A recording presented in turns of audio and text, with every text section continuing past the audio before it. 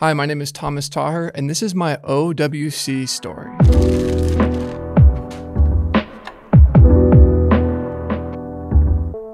So, funny story, I actually stumbled across OWC by accident. In 2012, I was getting into more video editing and video production, and at the time I had a, you know, out of date iMac computer.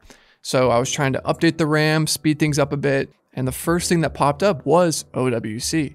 And I'm so glad I discovered OWC back then because fast forward till today, and you know, I'm a filmmaker, I work in film production, I'm shooting, I'm editing, and no matter where I go as a filmmaker, there's a drive that OWC makes that works for what I need.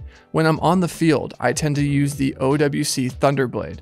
It's an 8 terabyte SSD, you know, scary fast write speeds. Like the, you know, megabits per second are like 2500 plus per second, which is faster than the hard drive in my computer. So I can download a full RED memory card uh, in a matter of like five to 10 minutes. And that allows me to get back on set and start shooting quicker.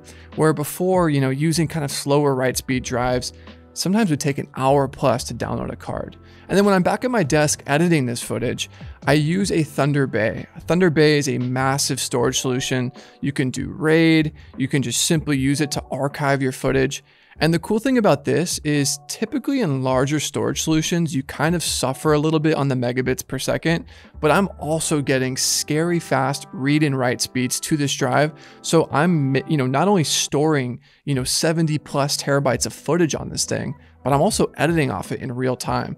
And, you know, for those of you that are in the editing world, you know, when you're working with like 4K, 6K, 8K footage in your editing app of choice, you know, you kind of get bottlenecked if you're working off of a very slow drive.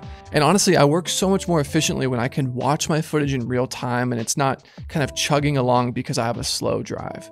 Whether I'm in production shooting or I'm in post production editing, OWC has me covered as a filmmaker.